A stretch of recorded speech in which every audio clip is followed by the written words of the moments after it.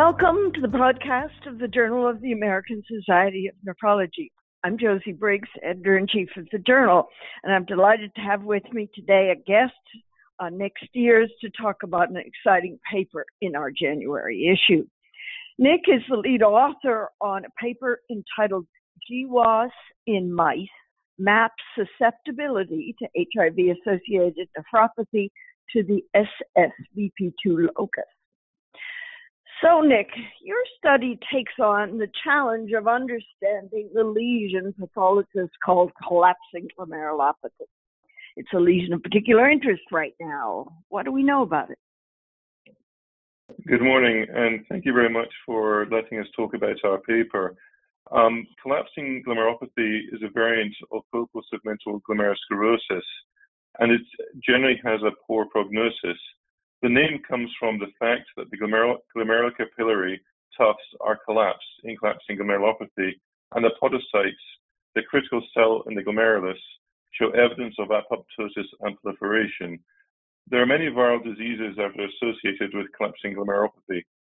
The classic example is HIV-1, resulting in HIVAN, but association with other viral diseases such as parvovirus B19 and cytomegalovirus and most recently SARS-CoV-2 has been reported. ACE2 is a receptor for SARS-CoV-2 entry into cells, and it has been reported to, to be expressed on the surface of podocytes. Although collapsing glomerulopathy has been reported in SARS-CoV-2 infections, it remains unclear if the virus directly infects podocytes. It is also possible an indirect effect. The inflammatory cytokine storm could also cause podocyte dysregulation. Presently, the mechanisms that govern collapsing glomerulopathy in SARS-CoV-2 infections remain unknown, including whether podocytes themselves become infected. There are reports in the literature demonstrating kidney cells are susceptible to virus, but other reports suggest SARS-CoV-2 does not directly infect kidney cells. In any case, collapsing glomerulopathy appears to be a relatively rare complication of COVID-19, but an important one with poor prognosis. Right, an important lesion right now to understand better. To return to HIV, was it clear before you started these experiments that there was a genetic factors that affect susceptibility to collapsing glomerulopathy? There is clearly genetic predisposition in humans. Individuals with two risk, risk variants in the APOL1 gene already implicated in FSGS are highly predisposed to collapsing glomerulopathy from viral infections. The mechanisms leading to collapsing glomerulopathy from viral infections are not clear, but it appears that the host's antiviral immune response, particularly interfer- interferon secretion, results in the upregulation of APOL1 gene products. And the APOL1 risk alleles result in expression of APOL1 variant proteins that are toxic to podocytes. So we already knew that APOL1 is a genetic susceptibility factor in HIVAN in humans. In addition, based on our prior studies in HIV-1 transgenic models, we knew that different inbred strains of mice have different susceptibility to developing collapsing glomerulopathy. Right. So different susceptibility in different strains of mice. And how did you tackle the question of actually finding what genes are responsible for that variation in susceptibility? So mice are not susceptible to HIV infection. So in order to model HIV infection, about 30 years ago, investigators developed a transgenic mouse model where replication deficient form of the virus was expressed as a transgene in the mouse. It was noted that the transgenic mouse, which was on the FVBN background, is susceptible to, H- to the HIV1 transgene and develops a kidney disease which highly resembles HIVAN from the histopathology and the molecular standpoint. Subsequently, it was noted that when the transgene was bred into different genetic backgrounds, some have no disease, demonstrating that host susceptibility factors are involved. Right. So you undertook back crosses with 20 strains. What a big undertaking. What were the steps? We made F1 crosses of the HIV1 transgenic mouse with 20 inbred strains and followed them for eight weeks for development of disease.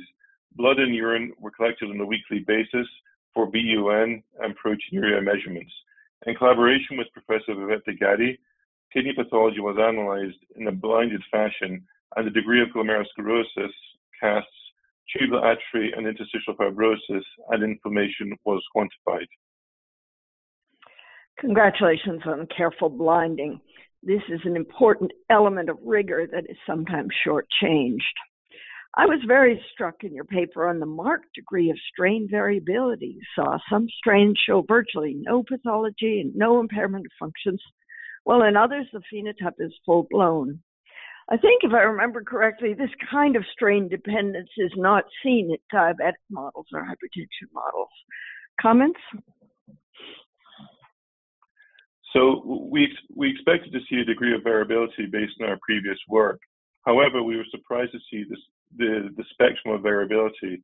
As an example, C57 Black 6 mice were entirely resistant to the HAV1 transgene, and AGA mice were almost 100% susceptible. The standard model um, on the FBB background shows about 60% penetrance. Identifying mouse strains with consistent pathology, either no pathology, mild pathology, or severe pathology, will benefit future high-band research. The next step was a genome-wide association study. The pathology scores and the concentration of urine NGAL and BUN were used as phenotypes for the GWAS. We did this work in collaboration with Yash Gupta in Dr. Simone Sanakirti's lab. And using the genetic data available from the Mouse Genome Project at the Sanger Centre in the UK, we ultimately mapped genetic susceptibility to the SSBP2 locus on chromosome 13 and demonstrated that SSBP2 was expressed in podocytes. The expression studies use a single cell sequencing approach alongside public available data sets and our immunohistochemistry demonstrated SSBP2 was in the presence of the glomerulus of wild-type mice, but was reduced in the HIV-1 transgenic mice.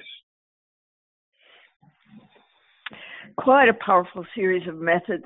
Uh, Jason is very proud of, of the way in which some of those resources we've published are contributing to complex studies like this. You relied heavily on the mouse Sanger Center data. Can you uh, explain to our listeners how that worked and what the value was? In prior eras, it was only possible to map loci underlining phenotypic difference between two strains, and classic, classic mapping with intercrosses or backcrosses had a very re- low resolution. Typically, studies would map loci to 50 million base regions. Now we have the sequence data available for most mouse inbred strains we know that these strains are descendants of the same common ancestors, and in effect, each inbred strain represents a branch of the same large family.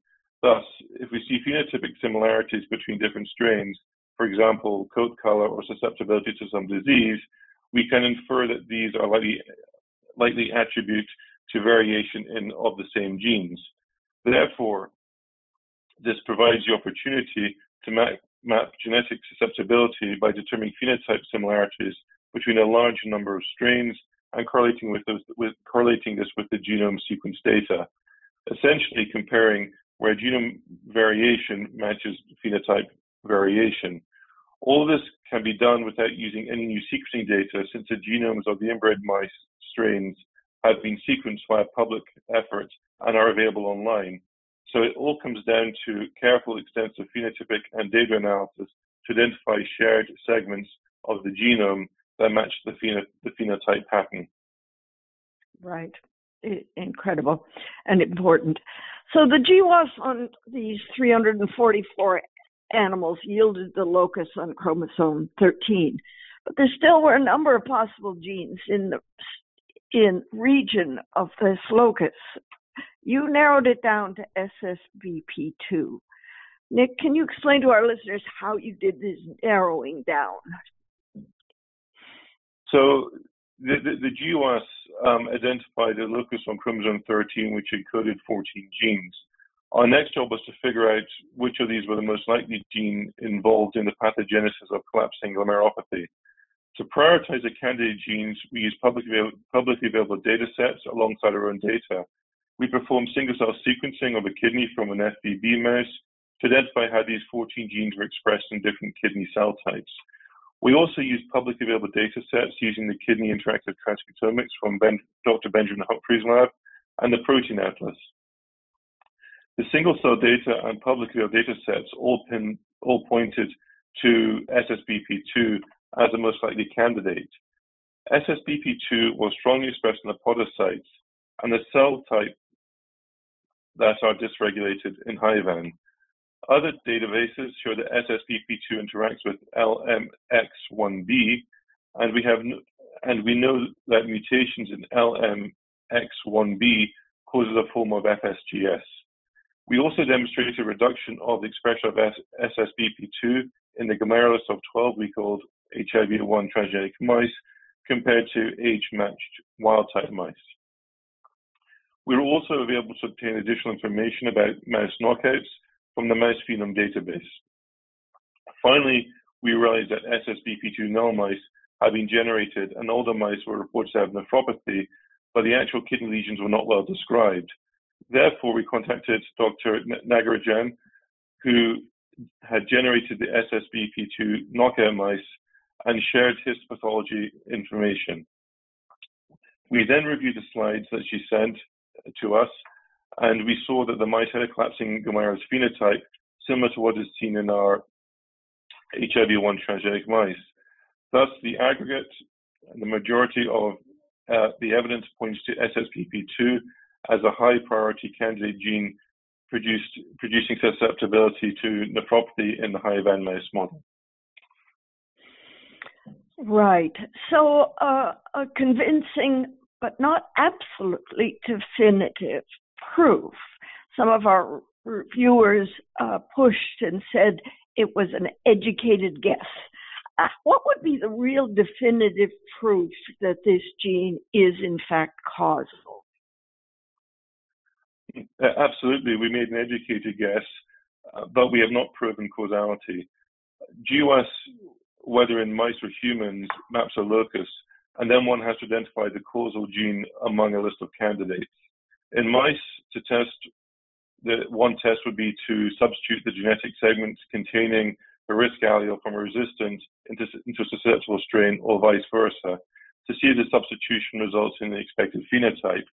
Or we could knock out SSBP2 in a resistant strain to see if now we make it susceptible to HIVAN. We are taking the latter approach in, in our lab. In terms of mechanism, we speculate that SSBP2 contributes to collapsing glomerulopathy because it prevents the ubiquitin-mediated degradation of the transcriptional adapter protein called limb domain, so limb domain binding protein 1, LDB1, which enables the transcription of LMX1B target genes such as NPHS2 and COL4A3.